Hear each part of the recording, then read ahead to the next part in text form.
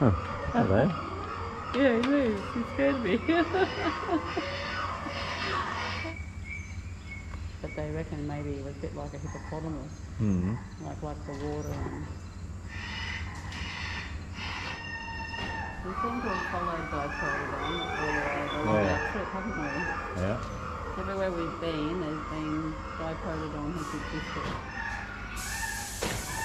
Hear the snake? Coming to get you. Then we travel along into the next cave. Ooh, this one's pretty scary. Hello, little fella. Ooh, what have we got in here? Ooh.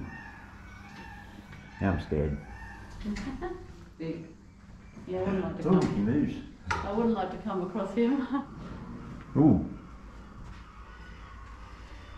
Now you would be scared. These are what the fossils look like when they find them in the ground. Did you see the animals in here? Yep. Oh, so we're crawling through a cave. Uh, what are you doing? You're going backwards. I was waiting for you to catch up. You gotta get. Bloody hell. We're too old for doing this shit.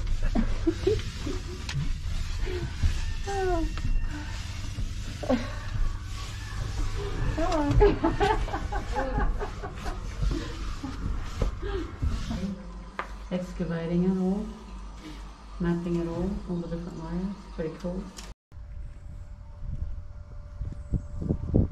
So you know, when you think about it, the you know, sometimes you think about, um, you know, when the Aboriginals talk about their dreaming and their dreamtime stories. Well, actually, they actually were a, a reality. There really was giant snakes and serpents and stuff, and it obviously was handed down through their relatives that, um, you know, that those things were there and were existing in those places that they talk about.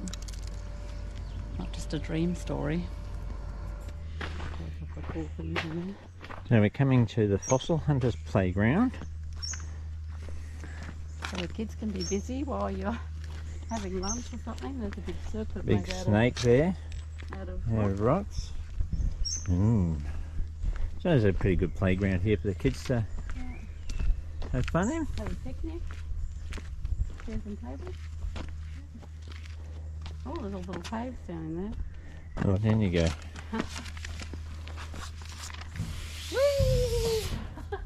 turn. My turn. Oh, my God. There we go. As fast as it goes. It's actually quite good. So we've come to the Stick Tomato Cave. I'm not sure exactly why they call it that. I think because it had a stick tomato at the entrance. There's a cave down in here. Are you filming? Yeah. this is pretty cool.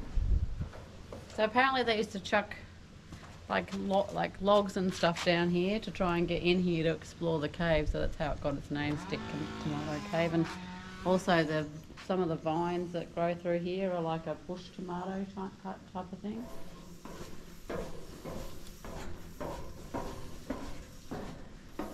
Oh,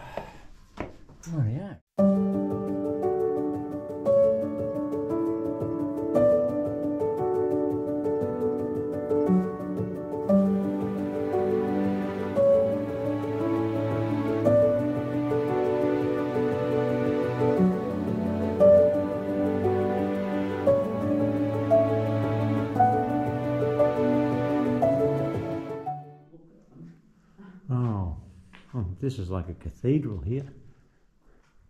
Ooh, that's pretty cool. Yeah.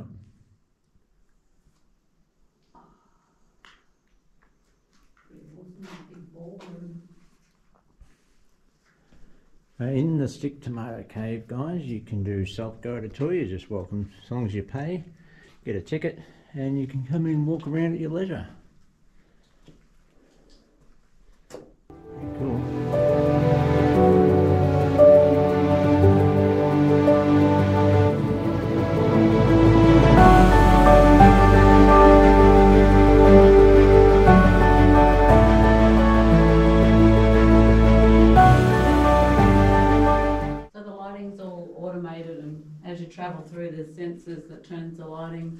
On off as you go through, so you can see the area.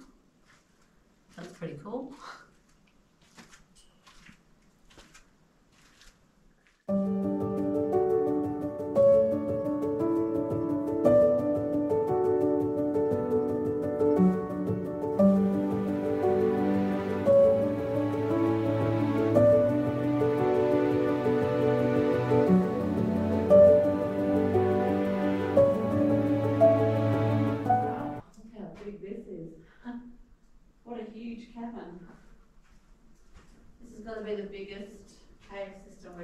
So far. This is huge in here. Have a look at the height of me compared to the roof. Wow. Well, the cave continues on. Let's go have a look down in here.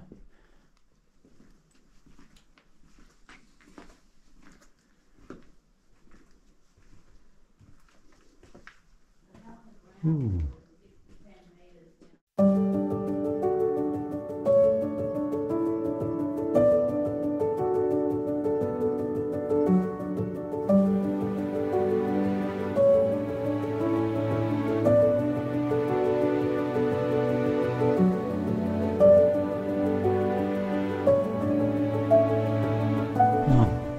Cave just keeps going and going. That Stick Tomato Cave, done and dusted. It's Yep. a huge cave system. Like I'm glad that we did it. Did this cave. Um, we've it's got a combination of both. So it's got like the wet and dry cave structures and that in it. So pretty awesome. Pretty and the self-guided tour was really good. You can just Yep. wander through at your own leisure, and the lights come on and off as you enter through each section. And it's really quite a big cave. It is. And It's part of the uh, Naracoorte Caves National Park. Yep.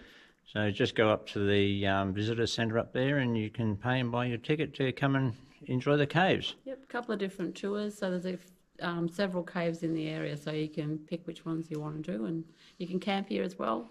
So pretty awesome. Guys, don't forget if you like what you're seeing, give us a subscribe, hit the like button and the notification bell. See, you you later.